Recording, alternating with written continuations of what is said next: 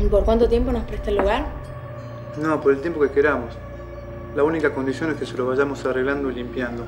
El problema es que la vamos a tener que bancar a mi tía.